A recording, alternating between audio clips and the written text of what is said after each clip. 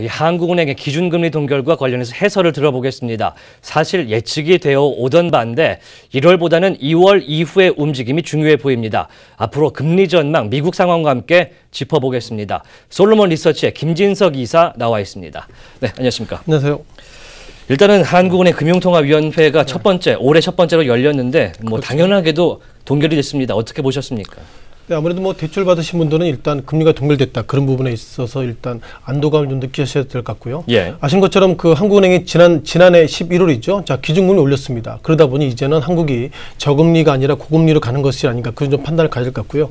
자 무엇보다 지난 11월 지난해 11월달에 금리 인상 이후에 아 시장의 반응을 좀 현재 한국은행이 좀 지켜보는 것은 아닌가 이렇게 예. 좀 판단을 좀 해야 될 것 같습니다. 그렇군요. 아, 또한 그동안 시장에 대한 고민은 그것이죠. 아신 것처럼 그 원달러 환율이 예상보다 강세 모습을 가지고 있습니다. 물론 조건문이지만 어, 저- 전국 경쟁연합회가 2018년도 올 한해 가장 부담을 느끼는 것이 고유가 그리고 고환율 마지막으로 금리 인상이 세 부분인데요. 이번에 만약에 금리 인상했다면 기계적으로 원달러 환율이 지금보다 더 강세로 갈 수 있다 그런 부분들이 있는 것 같습니다. 예. 아신 것처럼 지난 1월 초에 원달러 환율이 1,050원대가 약간 밀렸다가 다시 한번 약세를 보고 있었습니다만 한국이 결국 수출주 그 가운데서 삼성전자, 현대차 등 수출주가 상당히 원달러 강률에 원달러 환율에 민감하기 때문에 예. 어, 이번에 한국은행 이주열 이주열 총재가 기본적으로 기준 을 동결하는 것은 많은 분이 아셨던 부분도 있겠지만 기준물 민상이 된다면 그만큼 워낙 강세되기 때문에 아, 그런 부분을 일차적으로 우려했다라고 말씀을 드리겠습니다. 예, 그렇군요. 일단은 뭐 국제 유가도 지금 배럴당 70달러 선까지 지금 올라가고 있는 그런 상황이기 때문에 여러 가지로 고려할 것이 많아 보입니다. 어쨌든 하늘에서 올해는 금리 인상을 확실하게 기조로 가져갈 걸로 보이는 어, 그런 가운데 하느니 보는 우리나라 경기 어떤 것 같습니까? 일단 뭐 한국은행이 실은 통화 정책의 가장 키맨이기 때문에요. 예. 어, 무엇보다 2017년도 넘어서 올해도 상당히 좋을 것입니다. 이런 좀 평가를 가지고 있습니다. 예. 어, 작년 10월달 그러니까 2017년 10월달 같은 경우에는 한국은행이 GDP를 2.8%에서 3%대 우리가 그렇게 기다리던 3% 3%대 대. 다시 한번 진입하겠다 이런 예. 얘기가 있어서 일단 그것만으로도 시장은 좀 고무됐다 이렇게 좀 보겠고요. 예. 아, 다만 기본적으로 한국은행이 작년 말 그러니까 2017년 12월 달에 2018년도 경제 전망을 페이퍼를 보고한 게 있습니다. 물론 그 내용의 주된 내용을 보면 2018년도 그러니까 올해는 통화 정책을 좀 완화하겠다라는 평가를 가지고 있는데 그 전제 조건은 이- 그 결국 어떤 고용이나 물가 이런 부분들이 전제가 된다면 예. 2017년보다 올해는 더 지금보다 성장률이 좋을 것입니다. 이런 평가를 가지고 있고요.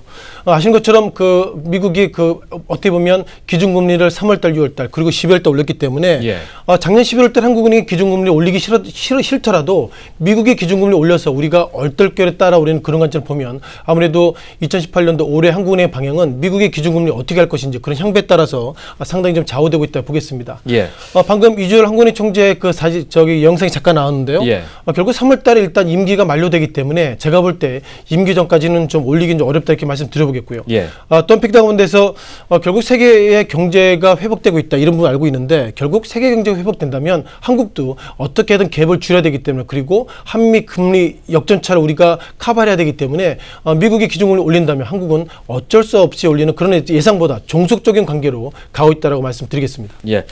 오늘 새벽 3시였죠. 미국의 Fed 연준에서 Beige Book이 나왔습니다. 경기 동향 보고서가 그렇죠. 나왔는데 미국도 당연하게 올해도 인상이 금리 인상이 있을 걸로 보입니다. 여기서 우리 경제, 우리나라에 주는 시그널이 뭐가 있었을까요? 일단 뭐 Beige Book을 이번에 보면서 상당히 예. 고민을 좀 했는데요. 자, Beige Book이라는 것이 미국의 12개 지역 어떻게 보면 지역 연, 연방은행 그 각 12개 은행 총재들의 어떤 데이터 값이기 때문에 예. 어, Beige Book이 일년에 여덟 번 나옵니다. 왜냐하면 그것을 보고서 FOMC가 여덟 번 열리기 때문에 그걸 보면서 금리 인상, 동결 이런 부분들 판단할 것 같고요. 그렇죠. 예. 아, 이번에 데이터를 보면 예상보다 완만한 상승세를 보이고 있다고 보겠습니다. 아, 다만 이것이 미국 경기가 좋아져서 된다는 것이 아니라 예. 아신 것처럼 그 트럼프 대통령이 작년 한 해 동안 했던 어떻게 보면 일자리 창출 통해서 예상보다 미국의 국가들이 미국에 들어오는 것들을 아, 세이프가드 등 이런 부분을 예상보다 옥죄인다 그런 부분 속에서 미국 경제가 반사적으로 이익을 좀 취하고 있다고 보겠고요. 아, 또한 미국이 법인세가 35%에서 21% 인하하기 때문에 그리고 또 기준금리 인상이 된다면 미국은 일단 기업 입장에서 보면 예상보다 장사하기 좋은 나라 다 그런 관점으로 보면 어, 미국은 경제가 좋아지고 있다 보겠고요. 자 이제 국내 증시로 잠깐 넘어와야 될 것 같습니다. 앞서서 잠깐 말씀하셨던 것처럼 자 트럼프 대통령이 한국이 일자리 좋은 일자리 창출을 빼앗고 있고 그러다 보니까 세탁기 이런 부분을 해서 덤핑했다 이런 평가를 하고 있는데 예. 한나라 대통령이 세탁기 관련돼서 이런 얘기할 정도로 미국의 트럼프 대통령이 미국의 어떤 기업들 즉 보호무역을 지금보다 강화할 수 있다고 보겠습니다.